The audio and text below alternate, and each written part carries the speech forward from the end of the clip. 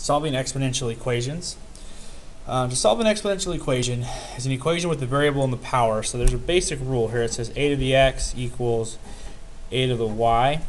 So if you have the same base, the bases are equal, the exponents must also be equal. So that means just x equals y. Okay, so for example, with some numbers in there, 5 to the x equals 5 to the 13th. Okay. Now looking at this, since they're on the same base, then if the bases are the same, the exponents must also be the same, so just x equals 13. Okay.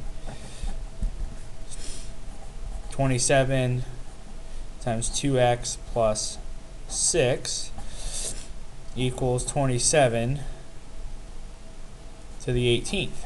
Okay, so they're both on a 27.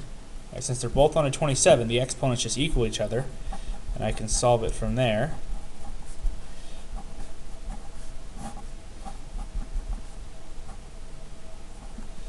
Um, and x equals 6. So this gets a little bit more complex when the numbers are a little harder to see. So an example of a very common question you might see is 2 to the x equals 16. Well, in this case, they're not um, to the same base.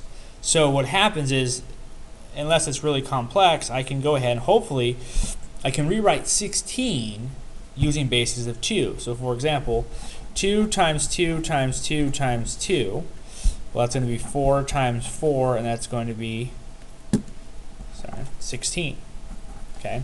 So what that means is 16 is the same as 2 to the fourth. So I can rewrite 2 to the fourth as 16, right? Because that's what it means when I am I'm multiplying four twos, and x equals 4. Okay? And look at a real simple one, see if it makes sense. So 2 to the x equals 4. So people could probably reason their way through this one and go, okay, 2 to what power gets me to 4? And that's going to be 2. Well, same thing. I can also rewrite 4, kind of run out of room here, as 2 to the 2, and x equals 2.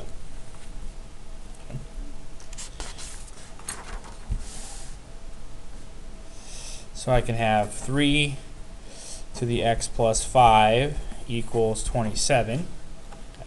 So same thing, they're not the same base. So hopefully I can rewrite this one with bases of 3. And 3 times 3 times 3 is 27.